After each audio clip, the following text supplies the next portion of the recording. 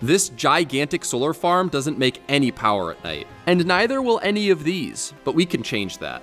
With control over sunlight, solar energy can power the world forever. The Russians launched a reflector satellite in the 1990s, and it worked.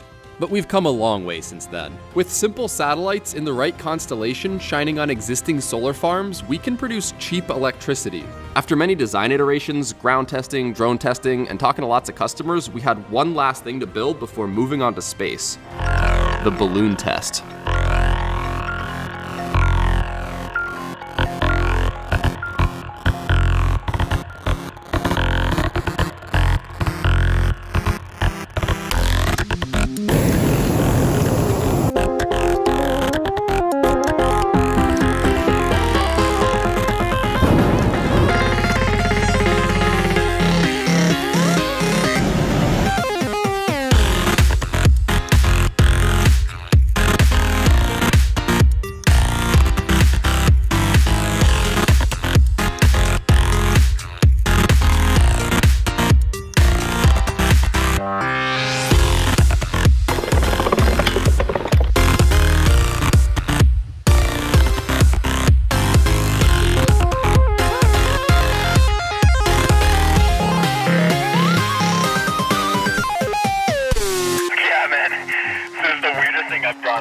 Done in a while. We are drifting very fast east, though, so keep that in mind too.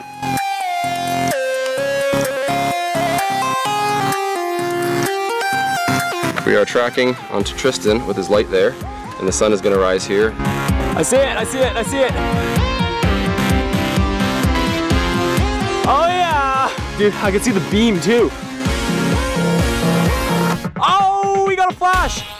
All right, these are very noticeable spikes. So there's Tristan standing in a sunbeam, basically right on him. Oh my goodness.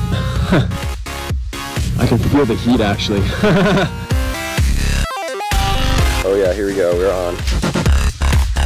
We might be getting actual readings. It's going up when you flash. Stop, stop moving. Eh, nobody move at all. it went from 58 to 120 watts. Dude, it's literally working! Woo! Let there be light! Hell yes. All right, I'm gonna move it off for 10 seconds and then move it back on. Let's keep going. And I'm moving it back on now. Yeah, pretty looking clear. 58 to 166. Dude, I could just chill here all day! All right, let's do one more square wave. Let's get that signal to noise ratio. There you go, that's 140 watts. That, that's not existed before. This is it! We're doing it, man! I'm pointing a mirror at stress